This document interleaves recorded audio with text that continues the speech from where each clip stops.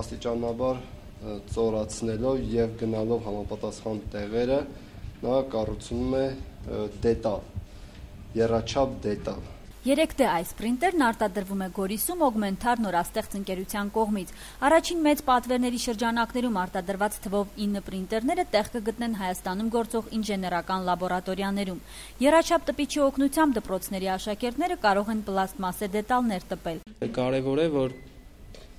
մենք կարողանանք արդեն ավելի պրոֆեսիոնալ տպիչներ արտադրենք, մասնավորապես տպիչներ են օգտագործում սննդամթերքի արտադրության մեջ, տպիչներ են օգտագործում ինչև շենքերի պատրաստման մեջ, Օգմենթարի հիմնադիրները երկու երիտասարդներ են Գորիսից։ Տեղեկատվական տեխնոլոգիաների ոլորտում ունեցած իրենց փորձը որոշել են կիրառել հայրենի քաղաքում։ Ստեղծել են ընկերությունը իրենց շուրջը համախմբել երիտասարդները եւ փորձում են նորարար մտքերն ու գաղափարները համատեղ ուժերով կյանքի կոչել։ Ընդգրկված ենք այդ կրթական ծրագրերի մեջ,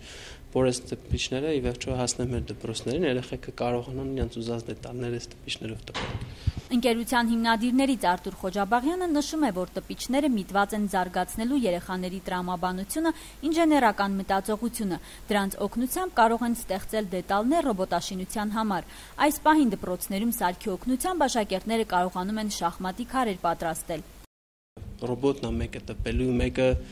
գրչամաներ է տպելու վաճառելու, մեկը ինչ որ տուրիստական փոքրիկ խաղալիքներ է տպելու վաճառելու ու երեխեքը պետք է սկսեն արտադրողի մտածելակերպն, այսինքն